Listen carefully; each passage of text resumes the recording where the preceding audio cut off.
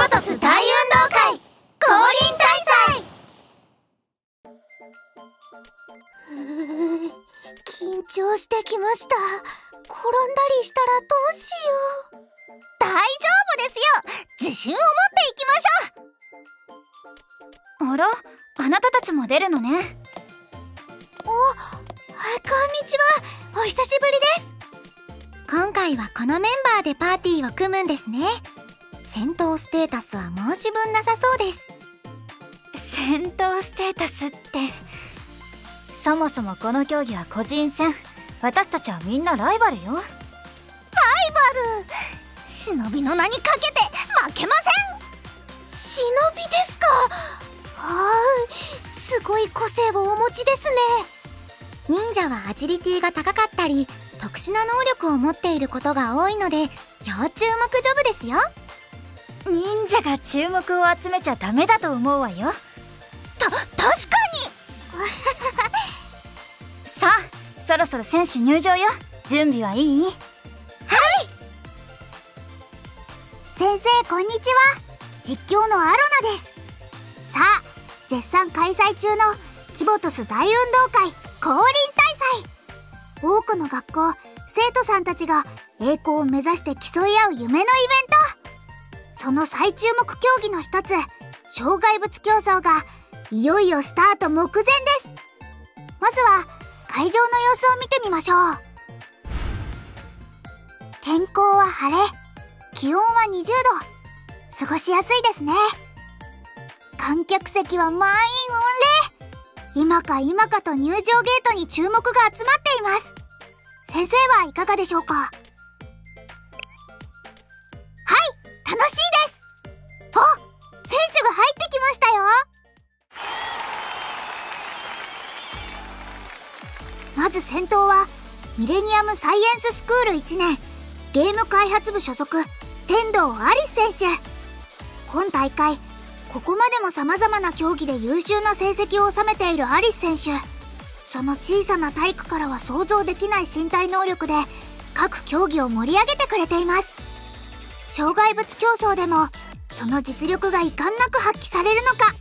要注目です。続いての入場選手は百鬼夜行連合学院1年忍術研究部所属久田伊豆名選手。キボトス最強の忍者を目指す伊豆名さんがここで登場です。忍者さんは多種多様な不思議な術を使いこなすという噂。どんな忍術を見せてくれるのか楽しみです。続いてはミレニアムサイエンススクール2年セミナー所属早瀬優香選手。ミレニアムの生徒会セミナーの会計さんがここで登場です。優香さんは今回降臨大祭実行委員会のメンバーでもあります。多忙のため自身が参加できる競技はごく限られているとのことですがここで満を持して登場です。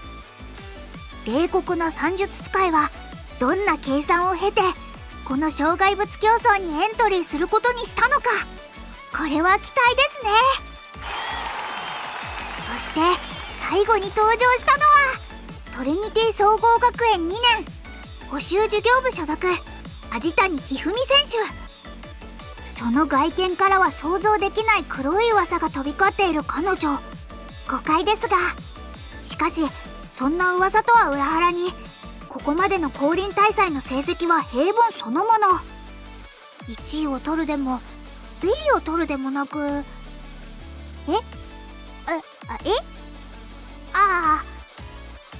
白洲あずさ選手と組んだ二人三脚では1位だったんですね。ごめんなさい。さあここでも大活躍できるか。期待がかかります。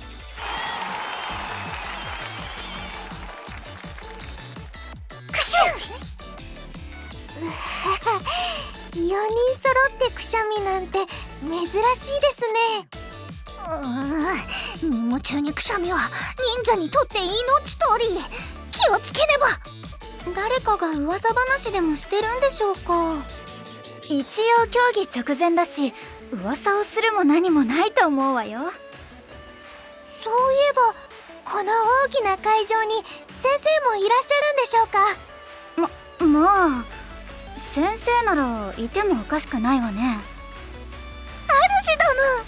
主殿主殿が見てくださっているとしたら忍びとして絶対に負けられません。アリスも負けません。狙うは MVP です。来年度の年俸に響くので。年俸？あそういえば最近サッカーゲームをやってたわね。アリスちゃん。さあ始まりますよ選手スタート地点に並びました。緊張の一瞬です。皆さん一様に真剣な表情。あ伊豆名さんは何やらキョロキョロしてますね。誰かを探しているのでしょうか。さあいよいよ始まりますよ。よーいドン！さあ一斉にスタート！先頭は優香選手。続いてアリス選手。少し後方にひふみ選手。そして遅れてあれ？伊豆名選手は？わあ伊豆名選手。転倒です。スタート地点で転んでいる。もうキョロキョロしてるから。いた。た不覚です。ですが伊豆名は忍び。こんなことません伊豆名さん走り始めました。少しで遅れたスタートですがさすがに忍者さん早い。まだ序盤ですしこれならすぐに追いつけそうですね。さあ先行しているアリスさんたちは早速最初の障害物平均台に挑みます。これは？アリスちゃん平均台って知らない？平均台？よっな感じでこの棒の上から落ちないように進むのよ。おおなるほど。さすが優香物知りですね。アリスちゃんは髪を踏まないように気をつけてね。追いつきました。ほっと。横に手を伸ばすのはそういう儀式なんでしょうか。と川ですね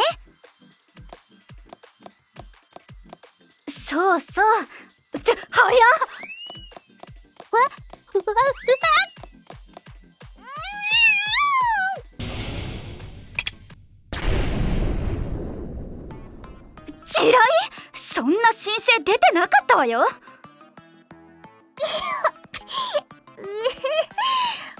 た最初からですね。伊豆の流身体強化の術。お先です。ニニン。あほう伊豆名さん早いです。ここで伊豆名選手が一気に2位に浮上。独走のアリ選手を追いかける。優香選手ひふみ選手はどうだ？平均台ゾーンを突破したみたいですね。優香選手ひふみ選手も次のゾーンに向かって走る。とアリス選手がその次のゾーンに着いたみたいです。次のゾーンはだるまさんが転んだ。だるまさんが転んだ。アリス殿なぜ溜まってるんですか？だるまさんが転んだって何ですか？ス殿はやったことないですか？だるまさんが転んだって言われてる間に進んでいくゲームです。言い終わった後に鬼が振り返るのでその間は動いてはダメ。まただるまさんが転んだと言われたらまた進み始めるのです。あとはその繰り返しです。つまりだるまさんが転んだは呪文なんですね。呪文？まあその理解で問題ないわよ。追いつきました。ああ喋ってる間に追いつかれてしまいました。だるま随分いきなりね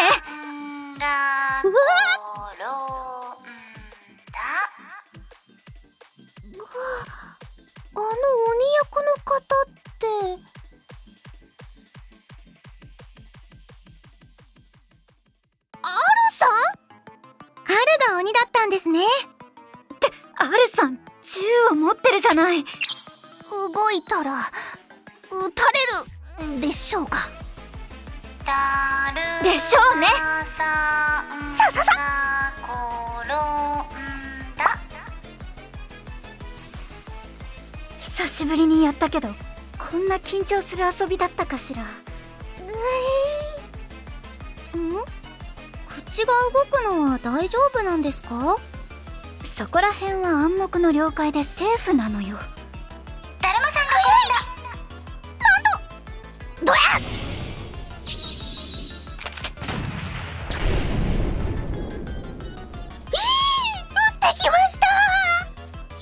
のあるより弾の威力は低めですね。もうこれも申請出てない。後でこの競技の責任者を問いたださなきゃ。撃たれたイズナさんは！あピンピンしてますね。それどころかなんか動きが速くなってるような。解説の先生。おおあれが噂の忍法なんですね。速い速い。速い？えっと先生速いだけですか？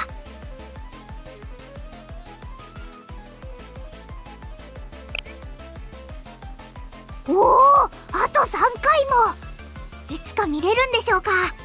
大きくなったり小さくなったり角が生えたりするんでしょうか？あそんなことを言っている間に皆さんだるまさんが転んだゾーンを抜けられましたね。ひどい目に遭いました。でもその後の挽回はすごかったですね。頑張りました。あれこそが忍者ジョブの個性。アジリティの高さです。はあ私も忍者を目指せば個性を獲得できるんでしょうか。はいはい。次の障害物が見えてきたわよ。やや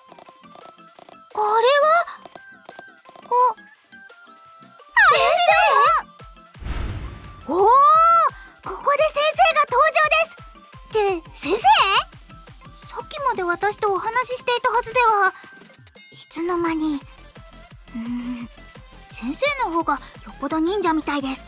忍法瞬間移動の術みたいな。えっと看板によると次の種目はあっち向いてホイみたいですね。ええ先生とあっち向いてホイで勝負をして勝てば次に進めるってことになってるわ。あゆうか。さては先生がこの競技に参加してることを知ってましたねままあ一応実行委員会のメンバーだし申請書類に記載してる分は把握してたわ。そうだったんですね。ただ横島ナイトで参加したんじゃなくて実行委員会メンバーもいくつか競技に出なきゃいけないから仕方なくよ。決して先生が参加してるからとかじゃなくてね。そりゃせっかく出るなら楽しい競技の方がいいと思ったのは事実だけど。ほら時間的にもちょうど仕事が空く時間だったしだったらいいかなと思って。私の計算上私がこの種目に勝つことがミレニアム全体に貢献できるって結果も出て他にも一応競技候補はあったんだけど二人三脚とかで他の人桃井緑の方が適性ありそうな競技だったからそうやって振り分けていったら最終的に私が参加すべきだった競技がこれでね。ほら仕方ないでしょ。すすごい早口です。ちなみに桃井と緑は二人三脚中に喧嘩を始めてダントツで最下位でした。あれは計算外だったわ。何はともあれ先生勝負です。最初は私です。先生の行動予測データからじゃんけんぽん、あっち向いてほいやったー。計算通り完璧。おおさすがは優香殿。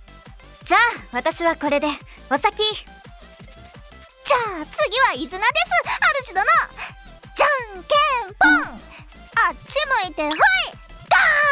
負けました。次はアリスです。じゃんけんぽん。あっち向いてほい。じゃんけんぽん。あっち向いてほい。あふっふっふさすがは勇者。また会おう。次は私です。負けませんよ。じゃんけんぽん。あっち向いて。ほい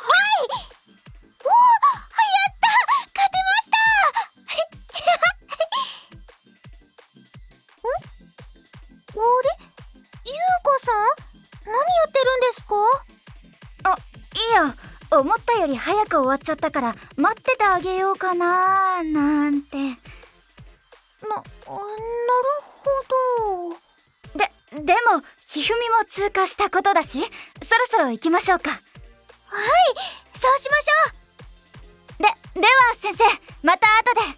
失礼します。さあ主殿再び伊豆名と勝負っち向いてほい！ガーン！また負けました！ふっふっふ勇者よ。また会ったな。貴様と再び相まみえることをどれほど待ったことか。アリス殿早くしないと！はい。行きますよ先生。じゃんけんぽん。あっち向いてほい！出直してくるんだな勇者よ。では先生アリスは次のゾーンに向かいます。伊豆名一人になってしまいました。主殿急ぎましょう。じゃんけんぽん。あっち向いてほい。じゃんけんぽん。あいこでしょ。あっち向いてほい。あーまた負けてしまいました。もう伊豆名は一人なのでくすん。すぐに再戦です。主殿それではじゃんけんぽん。あっち向いてほい。あわーい。伊豆名の勝ちです。それでは主殿うんにんにん。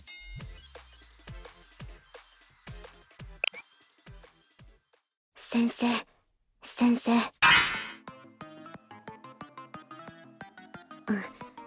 私ともあっち向いてホイをやるべき。そ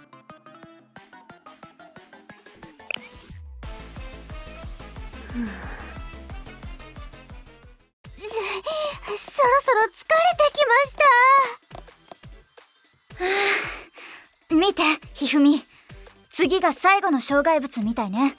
競技名は仮装競争？衣装袋を選んでね。ってこれ？衣装はこの中にあるってことでしょうか？であそこで着替えろってことでしょうね。うーんどれにしよう。中身は見ちゃダメなのよね。多分。追いつきました！伊豆名早いです。さすが忍者。ん？ゆうか何をしてるんですか？アリスちゃん次は仮装競争みたい。わかる？仮装って。知ってます。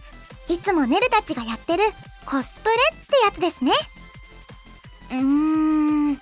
ネル先輩たち C&C のメイド服はコスプレじゃ。ああでもバニーとかはコスプレ？アリスもバニー服着てみたいです。バニー服を着たら将来的には賢者にジョブチェンジです。アリスちゃんのバニー。いいわね。用意しようかしら。ふんふん。忍法変身の術の基礎技術。早着替えが生きる競技ですね。これは伊豆名がトップになるチャンスです。というわけでリスも負けません。あちょっと。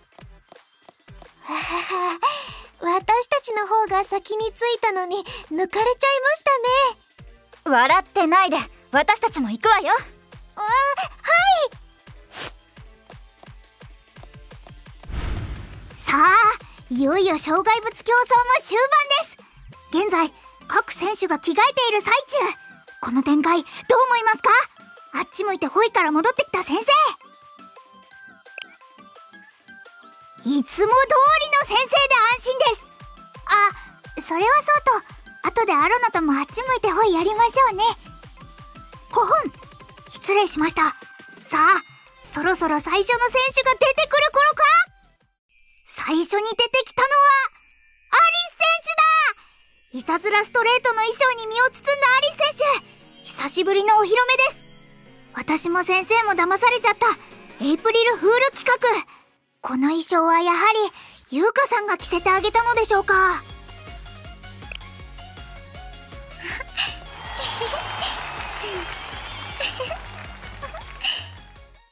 あ次に出てきたのは伊豆名選手。水着衣装の伊豆名選手。ホットパンツ型の水着なので動きやすそうです。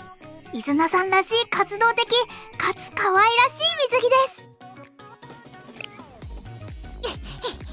おおーいにんにんシュババン。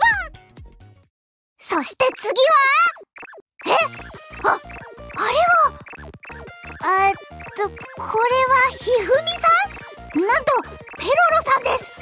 ペロロさんの衣装とか誰が用意したんでしょうか？あ先生じゃないですよね。ペロロさんさすがに遅い。でもひふみさんも本望でしょう。さあ最後は優香さん。少し出遅れているぞ。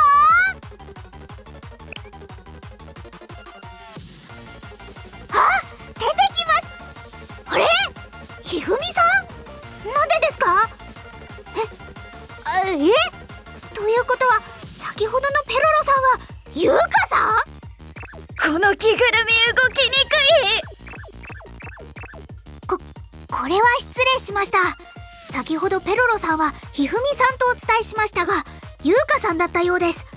お詫びして訂正します。古本。ささあ気を取り直して。ひふみさんなんとここでトリニティ指定の競技水着で登場。学校指定の水着だと思えないほどにお似合い。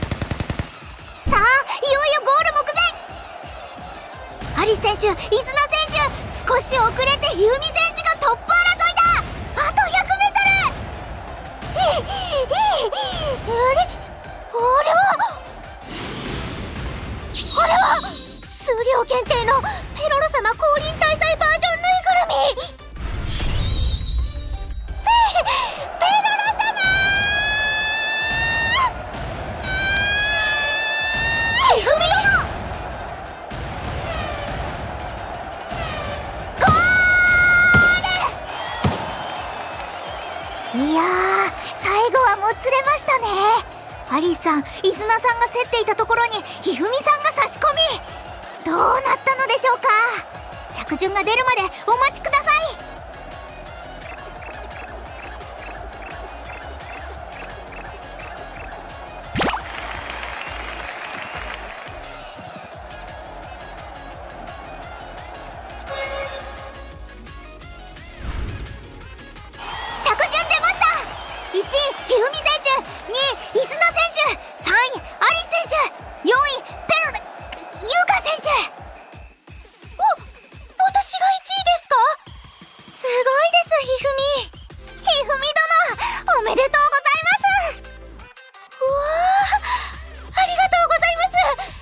人競技で1位取れるなんて初めてです。ひふみ殿のラストスパート前に進むんだという強い意志を感じました。乾杯です。ああいやあれはなんというか。いいじゃない。優雅殿ひふみおめでとう。おありがとうございます。そのさんが妨害を引き受けてくださっていたおかげもありましてアリスたちの方には爆弾も銃撃もあまり飛んでこなかったです。私のところにはこれでもかって飛んできてたわよ。そもそもこんな着ぐるみなんてハンでもいいところじゃないの。熱いし重いし動きにくいし。もう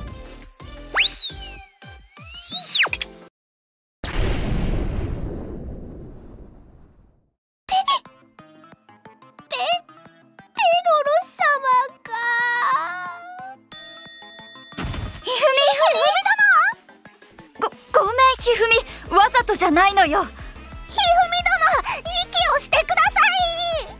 教会教会に行けばペロロ様も復活するはずですよ。ひふみ。えー、ひふみ。ひふみ。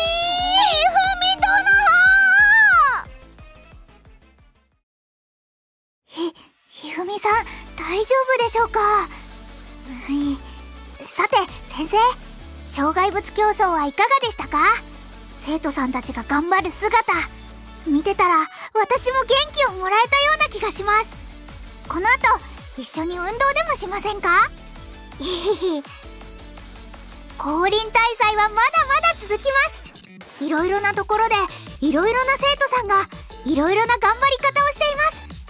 先生引き続きサポートしてあげてくださいね。それでは最初はグーじゃんけんぽん。あっち向いて。